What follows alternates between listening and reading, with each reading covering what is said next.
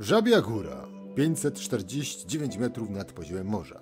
Wzniesienie w granicach wzgórz rymanowskich w Beskidzie Niskim.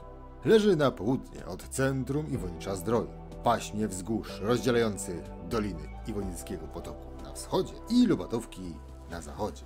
Góra jest zupełnie odlesiona.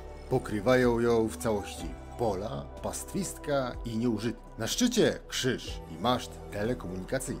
Ze szczytu dookoła panorama na Kotlinę Dukielską, wzgórza Iwonickie. Iwonicz Zdrój, miasto w województwie podkarpackim, powiecie krośnieńskim, leży historycznie na ziemi sanockiej. To jedno z najstarszych polskich uzdrowisk, znane już w XVI wieku. Centrum uzdrowiska otoczone jest lasem bukowo-jodłowym.